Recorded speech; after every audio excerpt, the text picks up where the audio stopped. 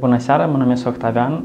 Cea mai mare motivație pentru mine a fost să am o stabilitate economică, adică să știu, la moment știți care e situația la noi în țară și având alte, având alte profesii nu pot câștiga atât cât câștigi în trading. De la început a fost foarte greu, fiindcă era foarte, foarte multe informații, dar cu timp am început să mai descurc, să înțeleg despre ce merge vorba și la general cum se tranzacționează tot acest proces. Cred eu că undeva mai ca 3-4 ani. Adică asta pentru mine a fost cea mai mare frică.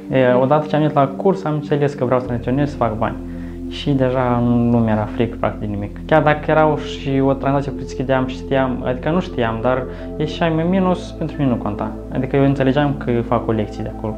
Da, m-a făcut o persoană să fiu cu mult mai motivată. Până la curs, pentru mine nu erau atât de important, aș spune, banii, adică consideram că este important, dar nu atât de tare.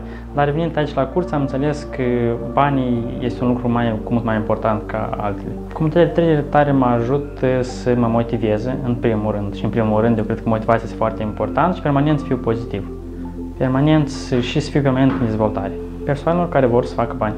Deja am recomandat la șapte persoane, din cât știu eu, trei din ei sunt deja traderi activi, iar doi sunt la curs.